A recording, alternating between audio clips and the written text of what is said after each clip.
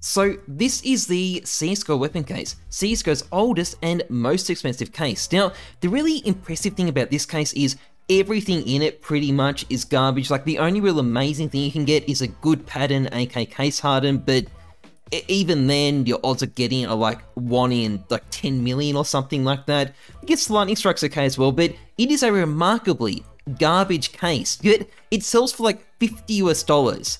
Imagine paying that much for a case. You'd have to be nuts, right?